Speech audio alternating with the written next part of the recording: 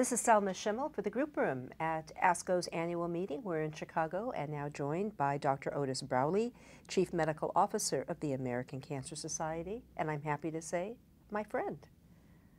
Hi, Dr. Brawley. Hello there. Thank you for having me. I'm so glad that you made time for us. Just one question. We've been talking about melanoma, and it is summertime and people of darker complexion may not think they're at risk. And if I understand, one of the unique areas for African American. Uh, yes. So if someone is sunbathing and they think they're I'm dark complected, I'm not at risk. I think sure. we have a moral obligation right sure. now. It's June.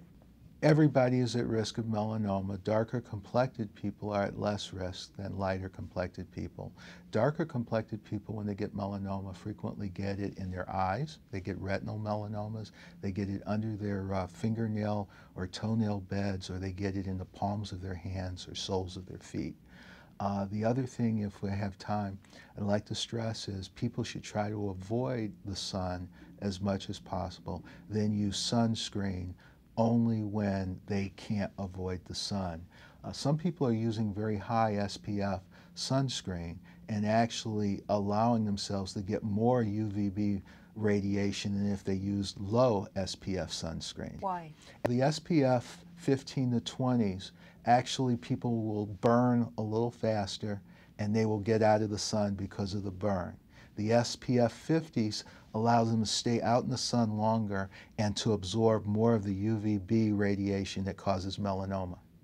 Wow, that's fascinating. It's actually sunscreen abuse. Wow. And, and sometimes our messaging, which is always put more sunscreen on, may actually be causing more people to get more of the UVB melanoma causing radiation exposure. And I just want to drive the message home one time, one more time, because it's summertime.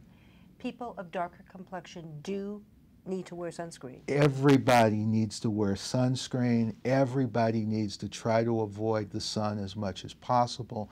I like people to avoid the sun with long sleeves, long pants, and floppy hats.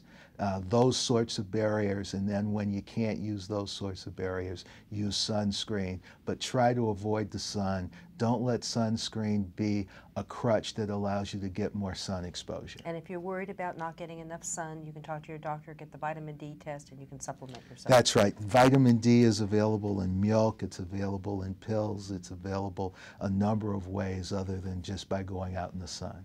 Thank you. I love your intensity and passion and pushing your hot buttons, Dr. Otis Brawley. Thank you. Chief Medical Officer of the American Cancer Society.